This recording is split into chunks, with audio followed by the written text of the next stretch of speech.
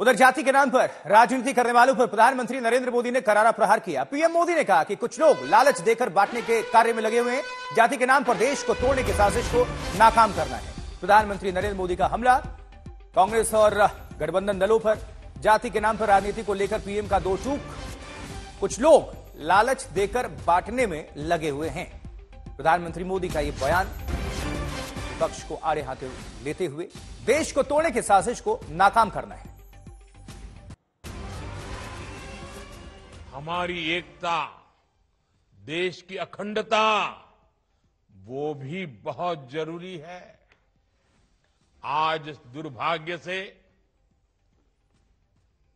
निहित स्वार्थ के लिए, छोटी समझ के कारण, भारत के उज्जवल भविष्य के महत्वाकांक्षी उद्देश्यों को भूल करके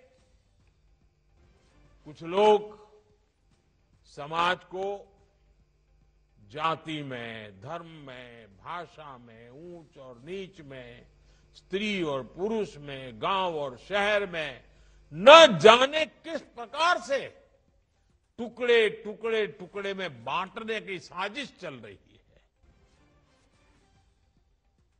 ज़रूरी है कि देश विरोधियों की इस चेष्टा को हम उसकी गंभीरता को समझे,